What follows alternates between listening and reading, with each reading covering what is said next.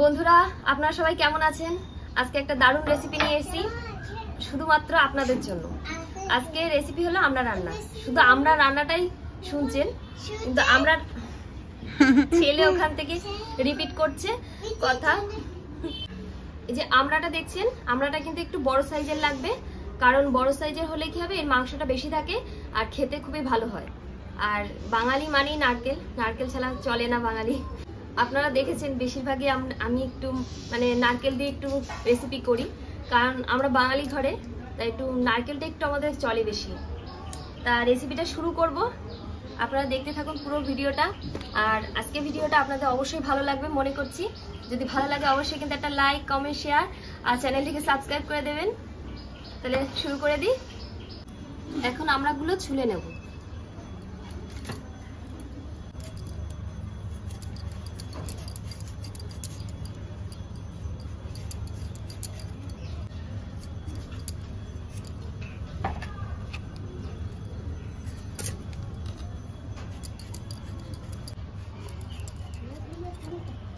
আমড়াগুলো কাটা হয়ে গেছে।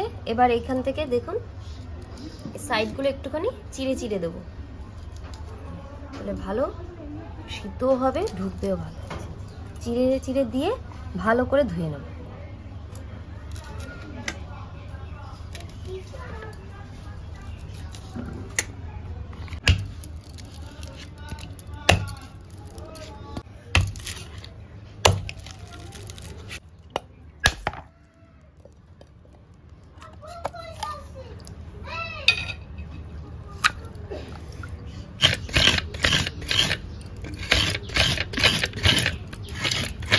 তিনটে এলাচ থেতো করে নেব।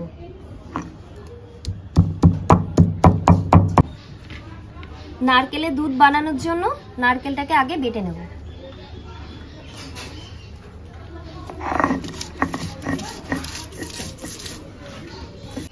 কড়াইতে জল দিয়ে দিয়েছি, আর আমড়াগুলো দিয়ে দেবো। এটাকে ভালো করে সিদ্ধ করে নেব। আপনারা চাইলে প্রেশার কুকারে সিদ্ধ করে নিতে পারেন। একটু লবণ দিয়ে দেবো, ভালো করে সিদ্ধ হবে। আমরা সিদ্ধ হয়ে গেছে। নামিয়ে নেব।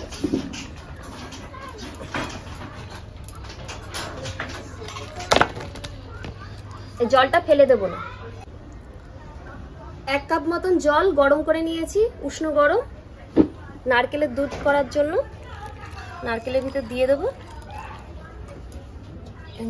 দুধটা বার করে নেব। উষ্ণ গরম জল।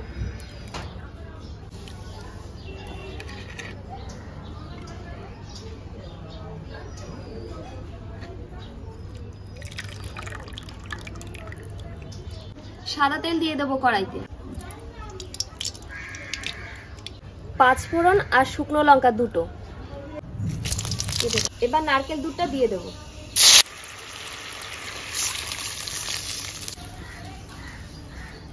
এবার এলাচ থেতোটা দিয়ে দেবো।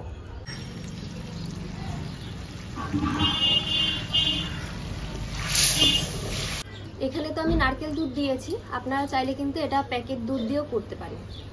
কিন্তু নারকেলের দুধে একটু টেস্টটা একটু বেশি ভালো হয়। আর এই যে ফোড়নটা, গন্ধটা একদম দারুণ লাগবে। মানে এখনই আমার জিভ দিয়ে জল বেরিয়ে যাচ্ছে তাতে রান্না করে খাব, খিদাও পেয়েছে এখনও ভাত খাইনি।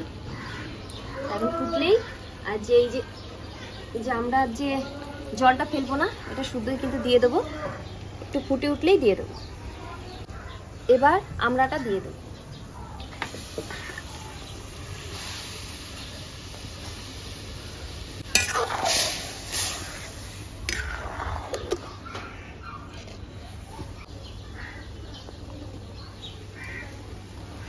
সিদ্ধর সময় লবণ দিয়েছিলাম, এখন অল্প একটু সামান্য লবণ দেবো।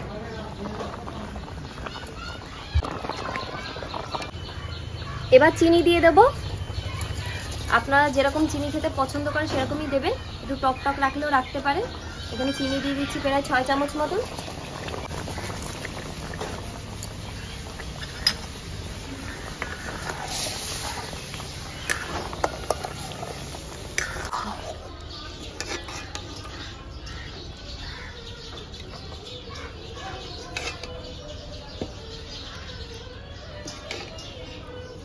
রসগোল্লা। রসগোল্লার থেকেও দারুণ লাগে।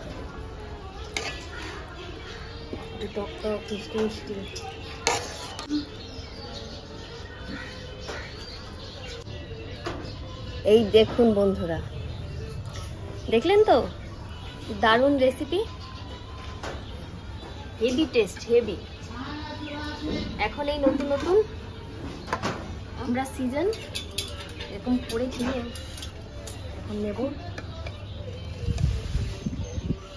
এখানে অলরেডি আমি ঝোল নিয়ে নিয়েছি এক্সট্রা ছিল আর ঝোল তুলতে হবে না।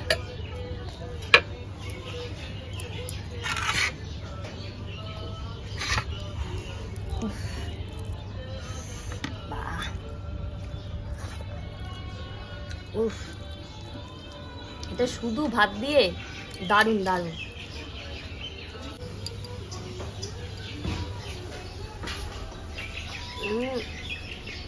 একদম রসালো গরম। দারুণ।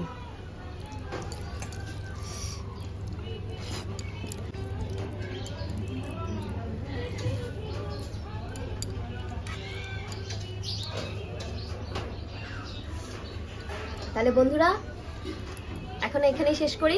ভালো থাকবেন, সুস্থ থাকবেন। নমস্কার।